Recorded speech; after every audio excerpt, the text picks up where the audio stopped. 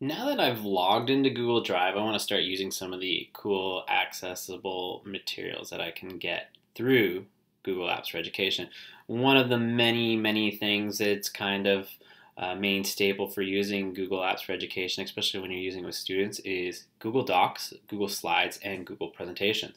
And today we're going to show you how to get into Google Docs and kind of what that looks like. Now, Google Docs, uh, if I go up here into my uh, tiles or Google Apps, as you can see pops up there, if I click on that, it pops up here, and there it is, Google Docs down here. All right, so if I click on Google Docs, what it's going to do is it's going to open up Google Docs. And when you take a look at Google Docs, you'll see I've got a bunch of different pages I've already started to work on.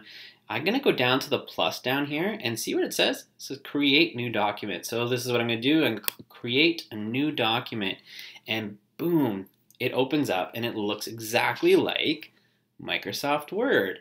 However, this is the Google version of it, so this makes it a shareable document. The first thing I always tell students to do right away is, yes, that's right, title your document. Once you title your document, then that's when Google Apps for Education will start saving it automatically as many times as possible.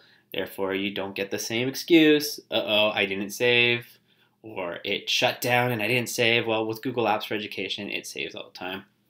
I always tell students, title it with their last name and whatever the project is.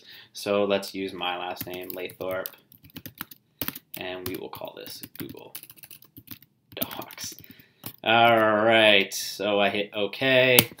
Bam, there I go. I've created my first Google Doc.